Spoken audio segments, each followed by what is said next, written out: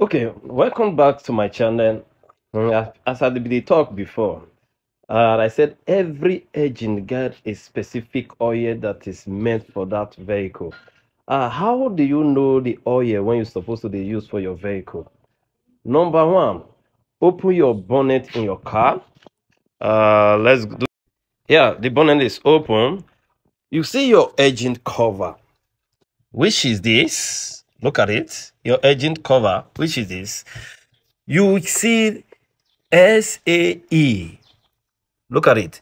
SAE 5W20. Yeah. Look at the second option. SAE 0W20. Maybe you have Mobil, you have Toyota, you have Hardy. There are several brands of oil.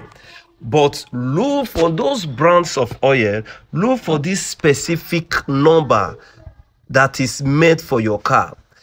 That doesn't mean when you use other eh, oil that uh, your motor no go start, it no go work, but automatically it is reducing the lifespan of that your engine.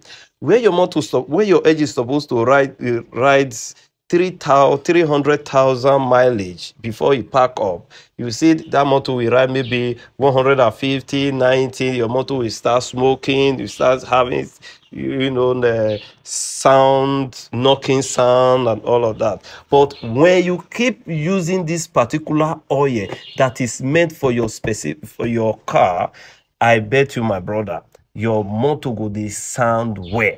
And another thing is the duration. Another thing is the duration in which you may change the oil. Yes. Some people go say now one month, every one month now they change my oil. No. Every car have a specific mileage when you're supposed to dey drive before you change your oil.